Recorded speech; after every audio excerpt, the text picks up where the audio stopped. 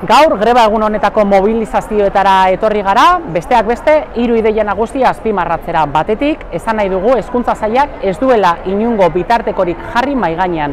Bildarratz hezkuntza sailburua hezkuntza eragileekin ronda bat egin du, bai, baina inungo konpromisorik ez du hartu eta ikusten ari gara ikasturte hasiera hau inkognitaz beteriko ikasturte hasiera badela eta kasu askotan kaosa dagola ikastetxeetan administrazioaren utzikeriaren ondorioz.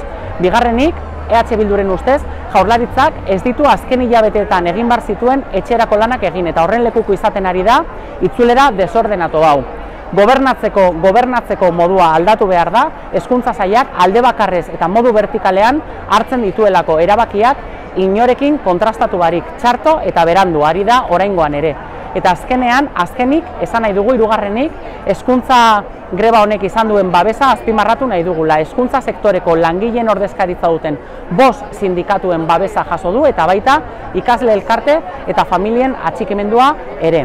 Pandemia honek zerbait erakutsi badigu izan da, osa, e, osasun gintzan, zaintzan eta baita hezkuntzan ere, gehiago inbertitu bar dela, bitartekoak jarri bar direla maiganean eta gure politiken erdigunean kokatu bar direla guzti horiek.